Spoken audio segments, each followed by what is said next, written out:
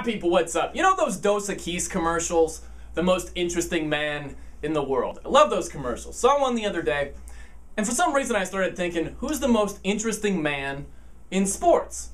So I started running through the, the big names in sports. Started off with Tiger Woods. When Tiger Woods is in contention to win a golf tournament, the ratings are through the roof.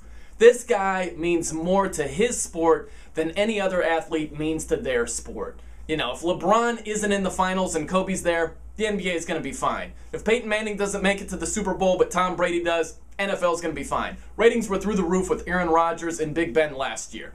So that's the way it works in other sports.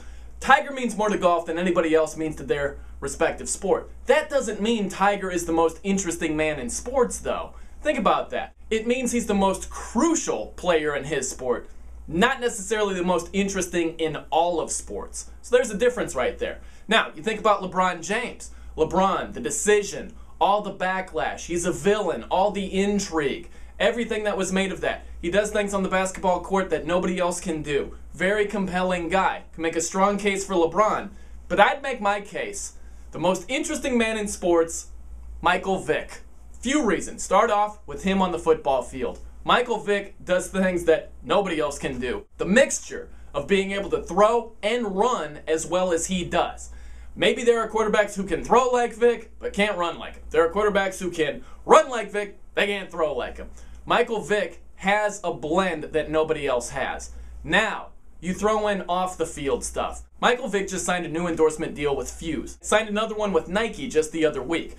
I could just talk about this in a bar. People would say, who would want to be associated with Michael Vick? Why would that dogfighter be given a second chance to begin with? It's always going to go back to dogfighting. With LeBron, people were upset with the player. With Michael Vick, people are upset with the person.